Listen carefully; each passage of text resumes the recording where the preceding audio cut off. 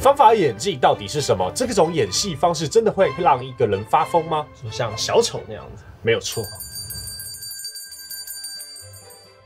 大家好，我们是是说书人。在影片开始之前，记得帮我订阅频道，并且开启小铃铛。今天来聊一下方法演技，这种演戏方式其实很常见，它基本上就是一种让演员可以完全进入角色的一种表演方式。嗯嗯除了演员本人的性格之外，他要创造出新的角色性格及他的习性。他在不管上戏或下戏，都要完全的融入这个角色当中。最有名的例子就是西斯莱杰。那这类的演员呢，他们认为这种表演方式可以帮助他们有效的进入角色。不过在这些情况下呢，方法演技也会对其他的演员或剧组造成伤害，尤其是当那位演员他的角色是非常令人不舒服的角色的时候。连续杀人魔那样，对对对对，或者是一个很讨人厌的角色，精神病，嗯，那种感觉，那种感觉，他就会影响到旁边的人去怎么跟他相处，嗯嗯嗯，嗯，或者是导演可能要他再出来一点，嗯。然后要好好讨论这个细节的时候，会变成一种可能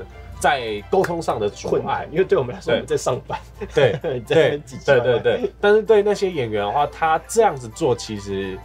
其实这个方式是没错的，嗯。是可以做到的。嗯。他就是用他外在的东西，或者是他的生活方式，或者他自己的东西去改变他自己的本来的性格，嗯。这是没有错的。但是可能我自己觉得不好是，他要去找到切换点，嗯，什么时候我该出来，嗯。什么时候我该进去。on off 这样，没有错，没有错。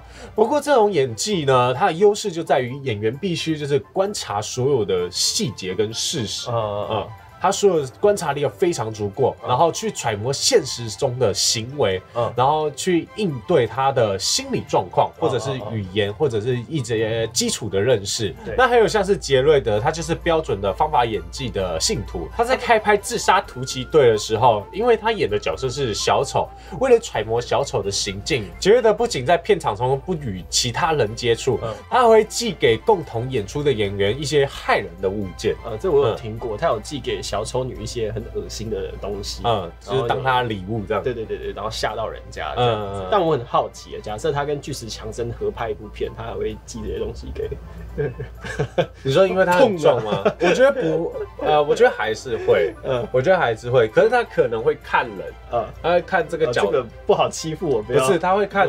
我觉得他比较常应该会看的，应该是看说在剧里面他们是什么关系啊。啊啊啊嗯，因为他为什么送给小丑女，其实是有关系的嗯，有关联的，所以他才会想送，嗯他会送礼物给他嗯，但是那个礼物可能根本不是小丑女想要的，嗯或者是小丑女就是只想要收到礼物的感觉，嗯收到他给我的礼物。呃，是要合这个角色的个性跟行为。对啊，对啊，对啊，不一定是直接就是谁都送这种。啊嗯，饰演影集《汉尼拔》的拔叔麦兹米克森，他因为取代强尼戴普饰演葛林戴华德的时候，我觉得很不习惯嗯诶，看到原本的葛林戴华德从那个强尼戴普换成麦兹米克森，我就是觉得，呃，好奇怪哦。我觉得还好，是因为他在第一集的时候就变过一次脸，啊啊啊！所以我觉得啊你说没什么。每一集都换一个脸孔，因为他第一集最后面的时候换了一个脸，但我还是比较喜欢强尼戴普的版本我也蛮喜欢强尼戴普的，但没办法，啊，嗯，但是他这次演的这个我也觉得不错，是不错啦。对，真的还蛮不错，他真的好适合演坏人。嗯对嗯，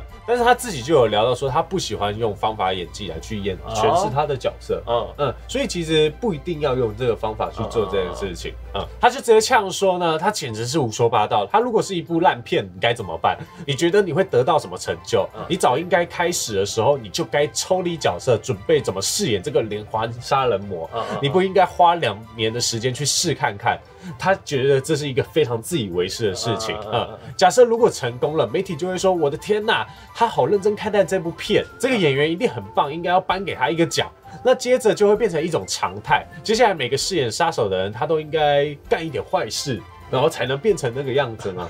他就觉得说这些事情根本是一种很荒谬的事情，呃，有点嗯像病态变成常态的感觉。对对对，因为你方法眼镜也要放到对的地方。嗯你如果放在一部就是你觉得这个东西你真的不需要，这部片你自己要评断一下它好还是不好。啊，那为什么要给这个奖？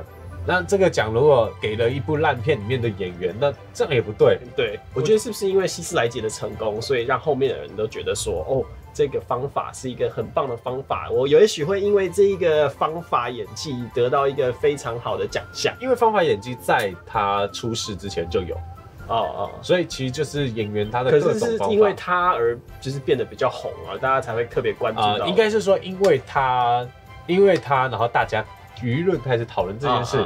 但是不代表就是演员他们不知道，因为其实演员在学的时候就会学习很多方式了。对，那你要用什么方式去进入角色，会对你自己啊你自己来说哪一个比较方便，那是你自己的事情啊。但是我觉得麦斯比赫森他比较理性的去看待这件事情因为他会觉得说，你方法演技是一种工具方式，啊，嗯你可以使用这个方式去做，你也可以使用别的方式去做，那不一定你每次都要从这个方式出发。嗯呃，你要看这个剧适合用什么方式去处理这件事情，嗯因为他不一定是学到一点点东西，他就要全部都用这个东西，他可以多学一点了。嗯其实这个意思嗯嗯那你们自己舞台剧会用这个方法演？要看演员啦，啊，要看演员他们自己那的。你自己嘞？我自己的话，我比较像是开关的，就是我会在某个点会去设计我的开关，然后去做这些东西。嗯我比较不像是像希斯莱杰，他是那种用方法眼镜把自己困在里面。啊不要很投入这样子。对对，啊困在里面。我比较像是，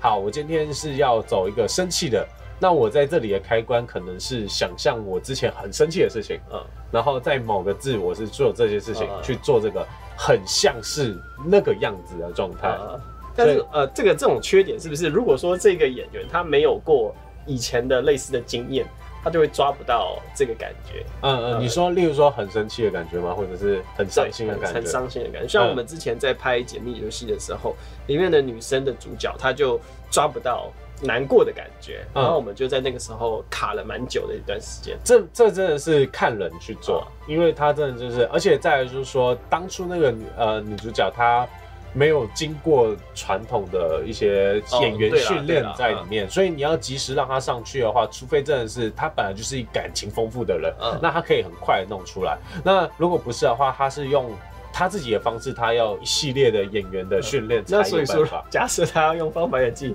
他就要切身的痛定思痛，失去一个人。没有，他应该是应该不是这样讲，应该是要讲说他他可以想象啊，他可以想象说他失去了一个不是人，也可以是猫，也可以是狗，嗯嗯，他在乎的东西就好了，可以去影射出这也是一个东西。个方法。对，这也是一种方法，不一定要这样子。呃，我自己的方式就比较像是开启式的，就是我会我不会整出戏我都一直在这个里面，我是用开关，就是这个关，哎、这一个段落我该是在想什么。大部分的演员好像都是这么做，我有遇过的。嗯，因为你因为有遇过真的有人是用方法演技吗？在台湾？比较少，比较少，因为方法眼镜很影响生活。哦，对，而且而且真的，呃，我也没有到那么大咖，可以到认识到这么多厉害的人。嗯对啊，如果真的可能是在一线的演员，他们可能会比较多这种。比如说我捧个一百万美金，哎，因为真的真的可能一线的演员会去做这些事情啦。那各位观众，你们喜欢方法演技这种演戏方式吗？在底下留言告诉我们。我们下部影片见，拜拜。